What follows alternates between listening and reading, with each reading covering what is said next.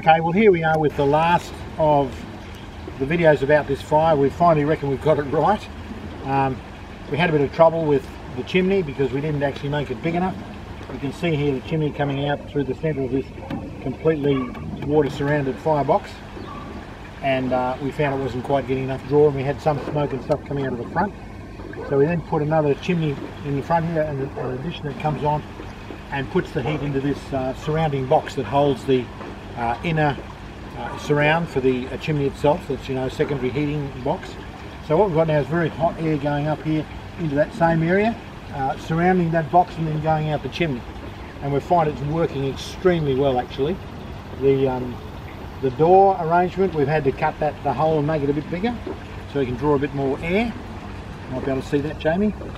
And um, you can see the fire inside, and that's going really, really well. So this chimney here, you can see a little bit of smoke coming off that. That's not smoke from the fire, that's actually the paint burning a little bit because we thought we'd make it look pretty and paint the whole thing with silver paint. Um, but when this fire dies down tonight, we'll finish this one and tomorrow we'll insulate and wrap the whole thing. So we're very, very pleased. We fired it up yesterday uh, before we did this mod. Oh, that's darn hot. Ooh, Careful. um, we fired up yesterday and we've got the water temperature in the heating, the hot water tanks over here. There's two 1,000 litre IBCs, that's 500 gallons of water altogether. We got it up to 88 degrees C, which is very close to boiling point. With the fire running, with a small fire in it, running for what, eight, nine hours, Jamie, would it be? Yeah. And it got right up there, so we started off today with the water temperature at 70 C, and we believe that the uh, two thermostats would have kicked in last night and done at least one heating cycle for both tanks because we had quite a cool night here last night. Uh, we don't know that for sure, but we think so.